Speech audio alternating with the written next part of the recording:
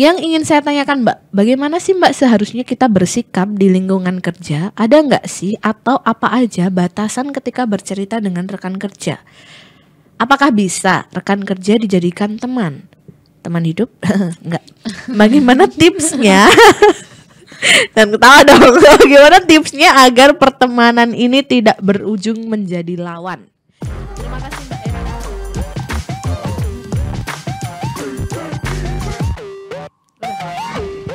Hai sahabat PMI, jumpa lagi sama saya Dea di Japri PMI Solo Jangan penting bareng PMI Jangan lupa tonton video ini sampai selesai tanpa di skip Dan kita jumpa lagi di segmen yang kita tunggu-tunggu Yakni Tukar Cerita. Yeay! Penonton saya sudah bertambah menjadi 5 juta penonton. Oke. Tentu saja tidak lain dan tidak bukan narasumber kita adalah ada ada Mbak Endah Ayu Pamungkas. Yeay! Kasih lagi dong. Gini ya? Nah, oh iya gini. Jangan melambaikan kamera ya seperti segmen minggu lalu. Dia gini-gini. Oke, gini aja. Nah, Mbak Endah, Iya, Kita Mbak Dia. lagi-lagi mendapat email ya yang sudah sebelumnya dikirim dari teman-teman eh, tukar cerita atau mungkin teman-teman yang lain kalau misalkan mau kirim email lagi nggak apa-apa ya. Emailnya Eh, apa, Emailnya ada di humas underscore solokota at pmi.or.id Dicatat ya. Iya, catat aja. Atau kalau lupa nih namanya apa, lupa namanya apa, ada di sosial medianya PMI Solo gitu. Nah, saya sudah kalau minggu lalu saya mendapat 2000 email. Wow. Eh, minggu ini saya mendapat 5000 email ya. Jadi Bertambah saya ya? iya bertambah.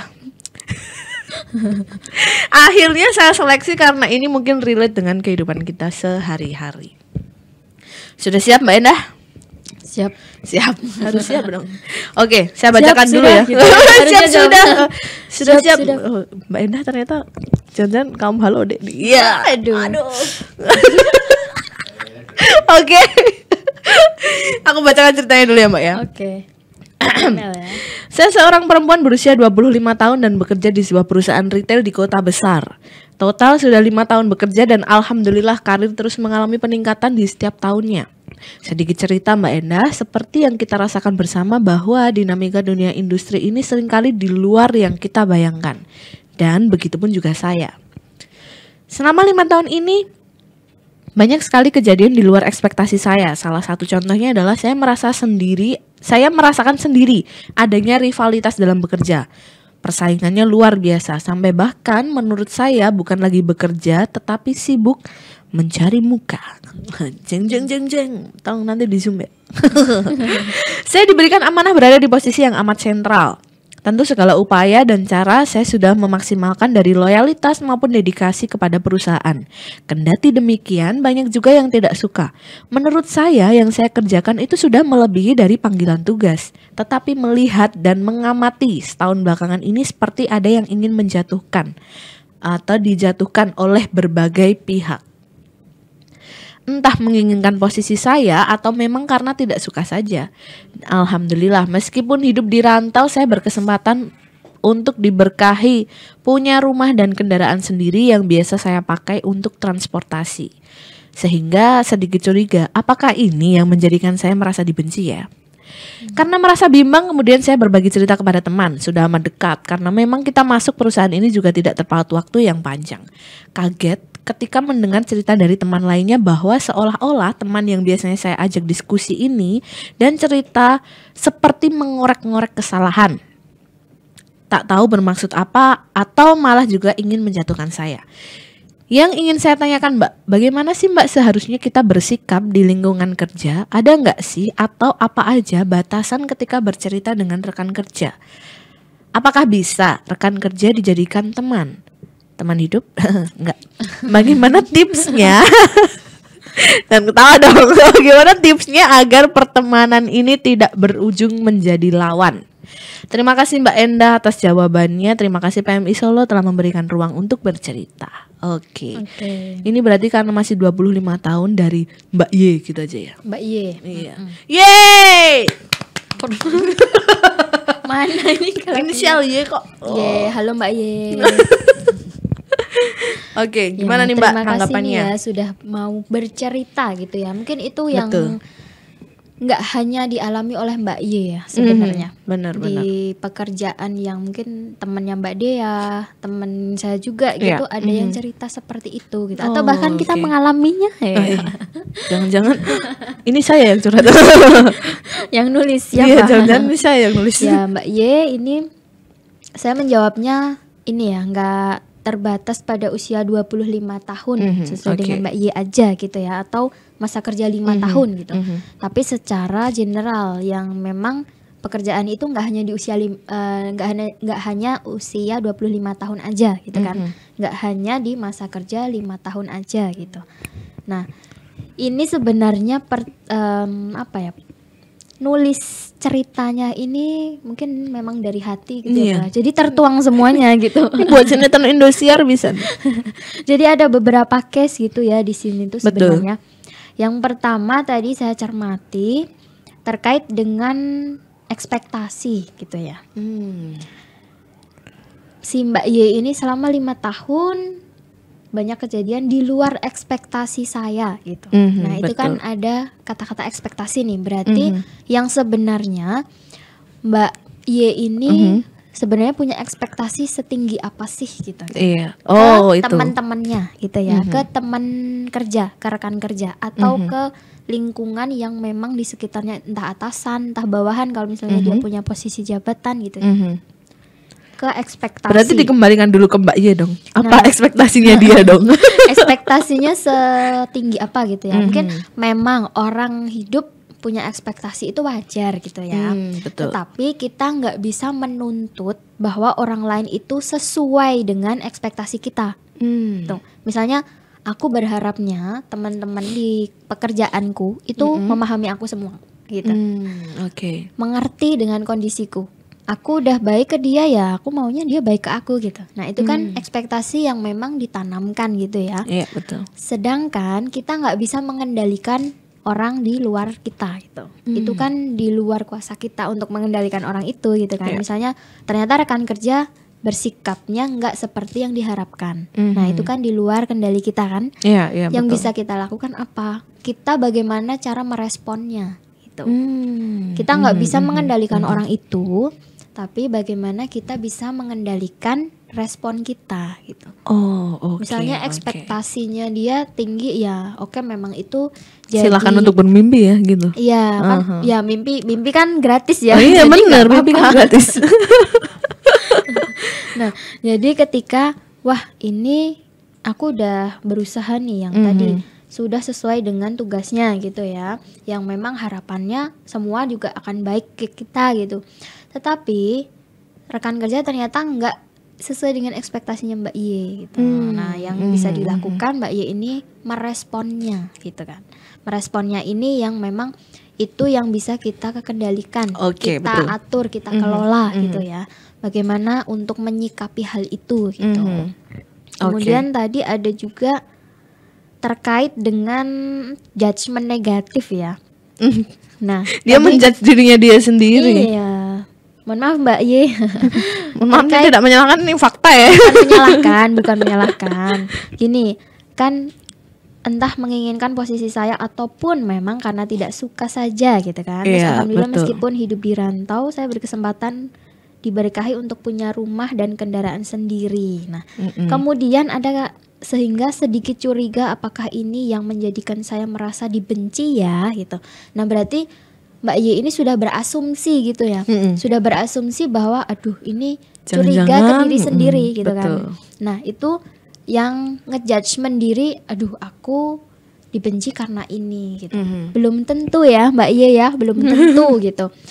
Bukan menyalahkan, ini lebih ke meluruskan gitu. Kan kita Iya. belum tahu ya sebabnya mereka benci atau tidak suka itu karena apa gitu.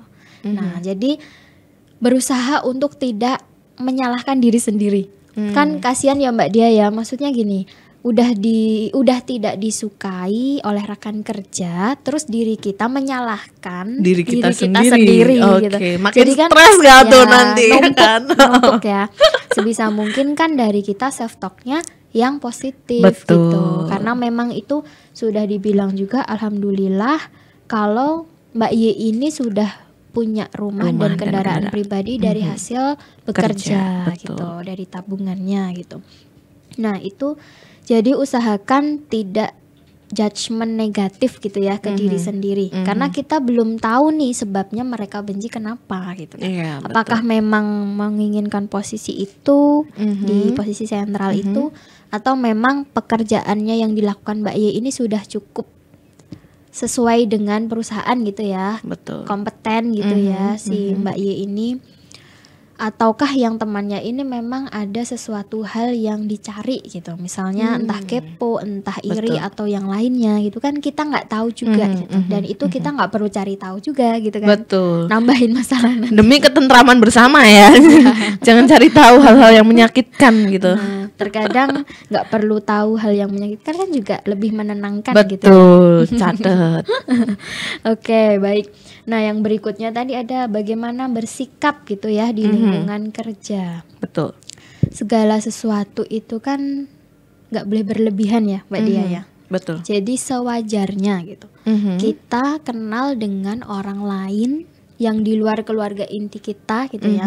Itu kan kita belum tahu nih atau berapa lama kita kenal, seberapa dalam kita menjajaki, mengenalnya, memahaminya. Mhm, Itu kan mhm. kita nggak bisa memastikan. Aku satu tahun kenal, aku udah mengenal banget nih gitu. Mhm. Kita nggak bisa mematok seperti itu. Mhm. Ini kan Mbak Ye lima tahun gitu ya. Ya. Lima tahun yang mungkin dirasa sudah Sudah mengenal cukup lebih untuk dekat mengenal, gitu iya, ya, betul. sudah cukup. Mhm. Tetapi pada kenyataannya memang ada juga nih teman yang ternyata hanya mengorek informasi gitu kan tadi Hmm, ceritanya oke. seperti itu. Mhm. Jadi kalau untuk berteman itu ya sewajarnya gitu kan. Dan Mhm. ada hal-hal yang memang menjadi privasi yang tidak bisa diceritakan ke orang lain gitu kan. Misalnya sekalipun itu teman yang dianggap bestie gitu ya. Mhm, mhm.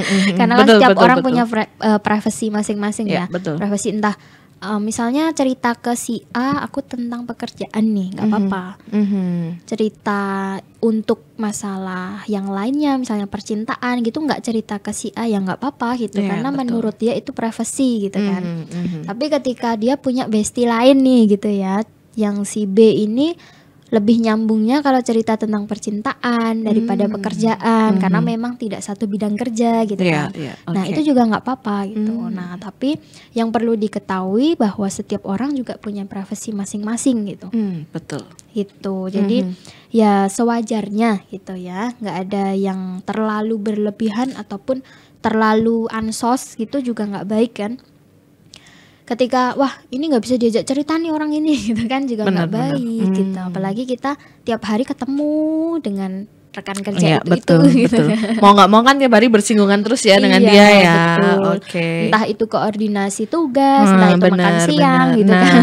benar, benar. Apalagi kalau misal kantornya kecil ya, yang maksudnya orangnya hanya itu-itu aja Iya. SDM-nya gitu kan. Ketemu waktu duduk eh ketemunya dia. Iya. Waktu Makan, makan dia ketemu dia lagi. lagi. Ya elah, Waktu dia apel pagi mulu. juga ketemunya Iya, dia lagi. iya kan. Di parkiran dia. Dia lagi. Pegawainya cuma dia kayaknya. Bisa jadi ya. Oke. Lanjut Mbak Endah. Oke, nah kan kita kenal sama orang itu nggak semuanya baik juga nggak semuanya buruk gitu Iya, ya. betul. Ini terkait dengan sewajarnya tadi. Misalnya kita kenal dengan ibaratkan 100 orang gitu ya. Mhm. Misalnya 100 orang. 50-50 lah, Mbak. Mhm. 50 orang itu menyukai kita. Mhm. 50 orangnya lagi tidak menyukai Suka. kita Oke. tidak suka ini ada yang tidak suka biasa, ada yang bahkan benci gitu ya. Mhm. Gitu.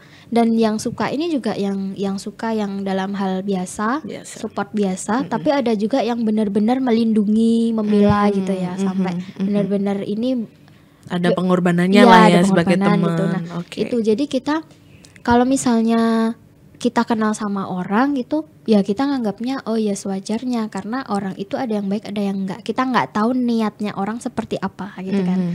jadi ya sewajarnya yang penting apa kita berbuat baik gitu.